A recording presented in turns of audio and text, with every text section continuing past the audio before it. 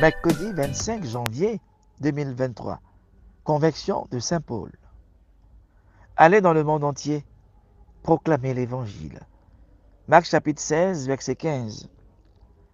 Mes frères, mes sœurs, l'histoire de Saint Paul nous rejoint tous. Jésus-Christ est à notre recherche. Jésus ressuscité envoie ses apôtres en mission dans le monde entier. Saint Paul le rencontre aux portes de Damas et sa belle aventure chrétienne commence. L'amour du Christ nous poursuit jusque dans nos petits retranchements. C'est quand nous pensons l'avoir chassé de nos vies que le Christ ressuscité nous surprend. Saint Paul, apôtre des nations, priez pour notre conversion. Amen.